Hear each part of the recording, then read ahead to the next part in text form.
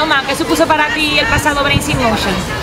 Pues fue una experiencia que no voy a olvidar nunca porque, bueno, además de aprender un montón de cosas en los primeros cursos de marketing y eso, sobre todo hicimos un proyecto precioso que llegamos a construir entre todos y que consistía en ayudar a la gente y es algo que me encantó y que siempre me ha gustado mucho pero aprendí un montón en esta experiencia y vivimos momentos inolvidables no sé, pues éramos un grupo súper unido además y me encantó y reír. Pero aquí pues nos hemos dado cuenta de que sí que hay un montón de gente súper cerca a nuestro que necesita nuestra ayuda y aporta un montón como persona alguien pues ayudar a esas personas que lo necesitan y eso es lo que ha aportado a mí.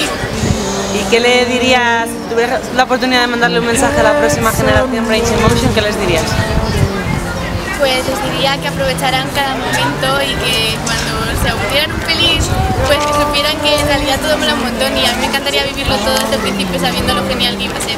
Así Pues in Motion fue una experiencia muy bonita en un año complicado de estudios que te ayuda, en, te ayuda a mejorar como persona y te da un plus de, de confianza en ti mismo y de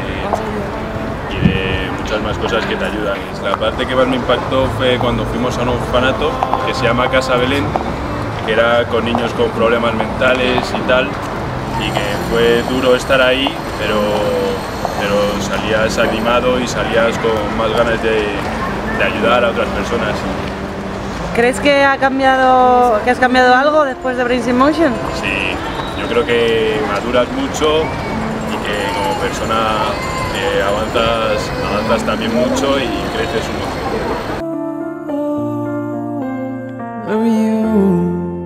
Oh. Bueno, para mí Brains in Motion era algo que, que yo había visto a, a los mayores hacerlo y que yo siempre había tenido como curiosidad e ilusión por hacerlo. Pero realmente no sabes lo que es Brains in Motion hasta que no lo vives desde dentro. Yo verdad que creo que fue una experiencia que nunca podría haberme imaginado que sería así, que, que me llenó muchísimo y que es algo que no habría cambiado yo por nada. ¿Qué aprendiste durante el curso en Brains in Motion? Pues bueno, aparte de, de todo lo que nos enseñan en ESIC, YPD, que es técnicas comerciales, más marketing, cómo llegar al público, cómo enfrentarte a, la demanda, yo creo que aprendes muchísimas cosas en cuanto a, a sentimientos. Yo creo que es algo que no, no sé, es muy difícil de explicar con palabras, ¿no? Pero es que te llena muchísimo. Eh, aprendes a sufrir por algo, a trabajar por algo, a no rendirte, a empatizar muchísimo, a sentir todo lo que, lo que haces y las acciones que, que puedes, que pueden conllevar tus acciones y es increíble. You're my end and my begin. Even when Bueno, pues a mí lo que más me ha gustado ha sido el hecho de que un grupo de jóvenes a los que se os suele dar todo hecho sean capaces de crear algo desde cero como es una asociación, que es algo importante. Pero aún más allá lo que más me ha gustado ha sido el hecho de que jóvenes de diferentes puntos del país se hayan juntado para poder rescatar valores, eso que dicen de que los jóvenes viven ajenos a todo y que no hacemos caso de nada, vivimos solo para nosotros, para, dar- para que la gente se dé cuenta de que, estamos, que sabemos lo que hacemos y que vivimos el mismo día que ellos y sabemos a los problemas que, que se enfrenta la sociedad actual.